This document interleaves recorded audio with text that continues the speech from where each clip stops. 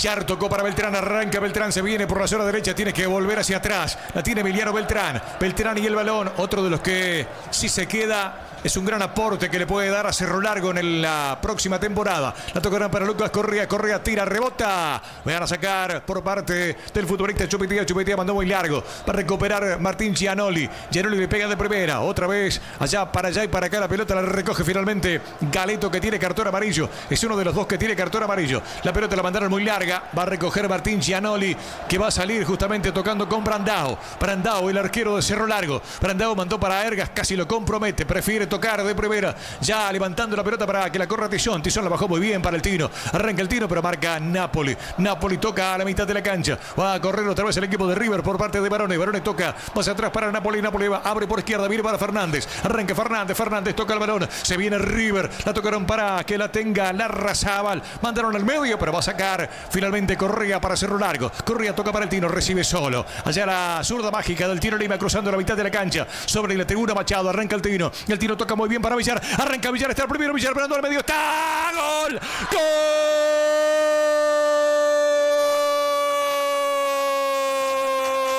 Tizón, Tizón, Cristian Tizón, una jugada rápida de Cerro Largo.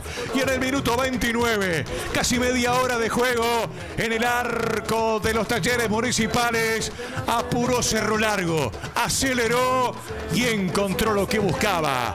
Gana 1 a 0 Cerro Largo sobre River. Una jugada con muchísima dinámica, eh, muy ágiles los hombres que atacaron justamente por el sector derecho. Qué bien que la hizo Villar.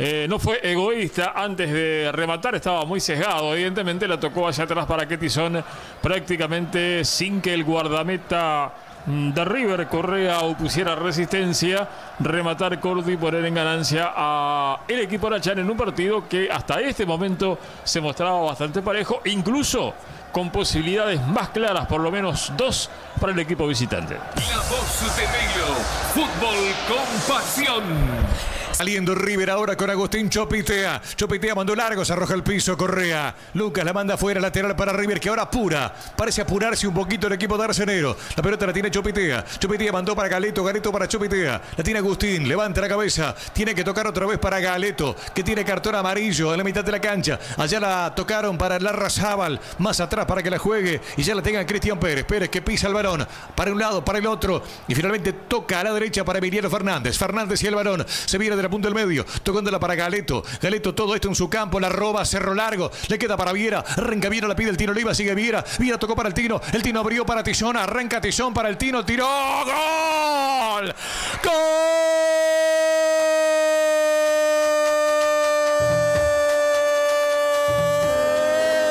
Cerro Largo. Golazo de Cerro Largo.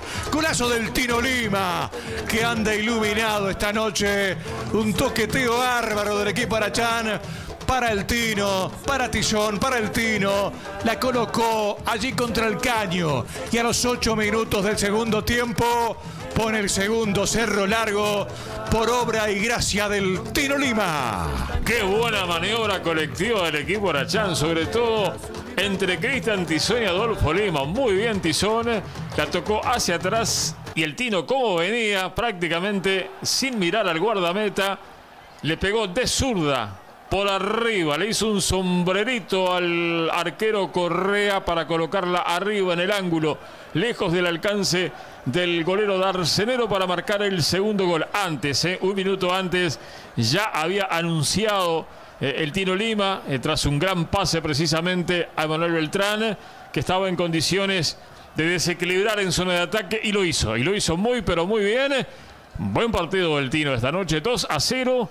Clarísima victoria del equipo Arachán. Inimaginable, tomando en cuenta lo que fue el trámite de los, los 15 minutos de la primera mitad. La voz de Melo, fútbol con pasión.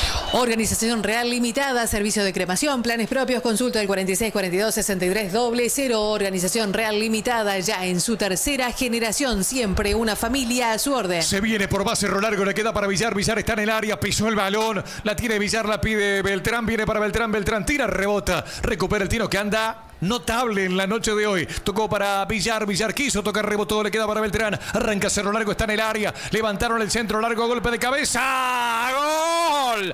¡Gol!